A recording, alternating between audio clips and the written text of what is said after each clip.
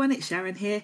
I'm back with another video for Craft Stash. Today I've got a card featuring the Creative Dies Plus Stitched and Pierced Nesting Bunting die set. Here you can see the lovely bunting. This die set is part of a range of dies. There are 13 different sets in this particular range of the um, Stitched and Pierced Nesting dies.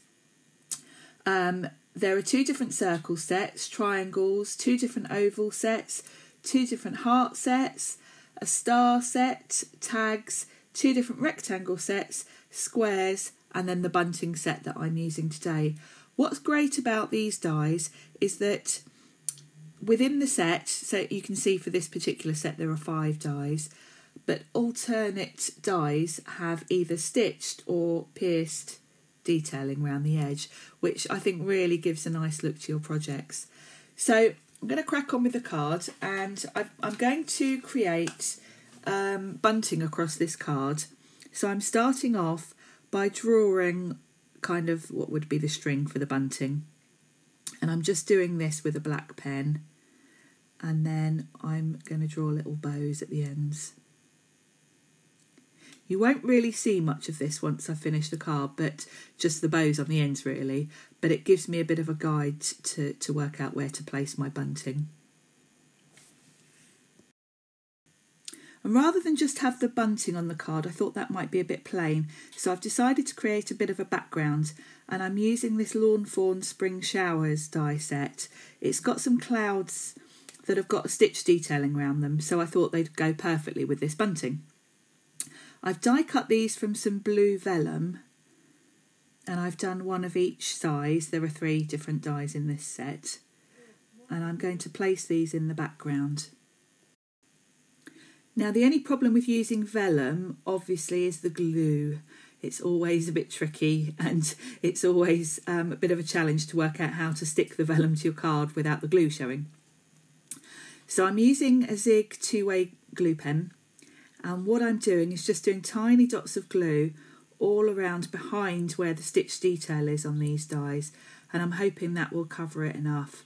Um, on this particular large cloud to the left um, the bunting will cover that edge so I've been able to put a bit more glue on that area. So I'm just going around each one with tiny dots. Obviously the vellum isn't sort of heavy so you don't need a lot of glue so hopefully this technique is going to disguise it well enough. And I'm putting acrylic blocks down on, on top of these as I do them, just so that it holds it in place while the glue dries. So I've popped those to one side, and now I'm going to stamp a greeting that will be on the centre larger bunting. The stamp set I'm using is an apple blossom stamp set called Daisy Chain Sentiments. It's got some really lovely sentiments to cover all sorts of occasions, and I really like the font on them. And the one I've chosen for this card says "Have the best day ever," and I thought that would be quite nice. This this card then could be used for all sorts of occasions. I'm stamping it onto this kraft card with some Versamark ink, and now I'm going to use some white embossing powder. I'm using Wow Bright White um, Super Fine embossing powder. And I'm just letting my heat gun heat up before I bring it to the card so that it's nice and hot and I don't get too much warping. And I just love the look of white embossing on kraft. It's one of my favourite things. So I'm just going to line that up and run that through my die cutting machine and that looks perfect for my centerpiece. And now I'm going to cut the smallest die from this set from some polka dot papers. These are digital papers from the lovely studio and I've die cut two of each colour. So I've got um, a light pink, a dark pink, or bright pink really, and a, a pale green. And I'm going to follow my string line that I've drawn to get these in place. I'm starting with the centre one and I want that kind of fairly straight hanging down.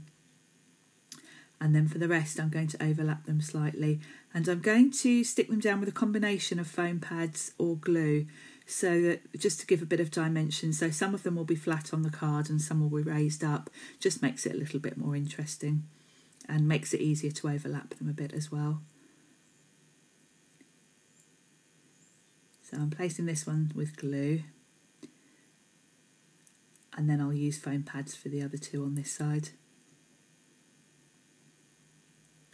And I'll tuck it under the, the centre one and just overlapping the pale pink one.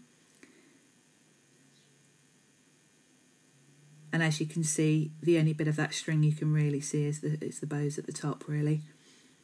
And then I'm going to do the same the other side, but I'm going to mix the colours up a little bit.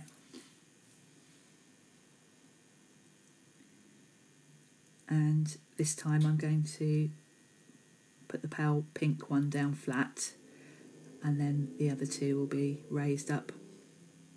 And that's my card finished. I really love these nesting dies. I think they're they're really useful and would be great. The larger the larger dies in the set I think would be great for putting greetings on. You can find details of all the products I've used in the description box on YouTube.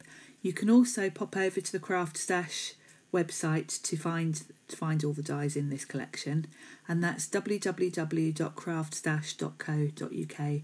I hope you've enjoyed this video and I hope to see you soon. Bye.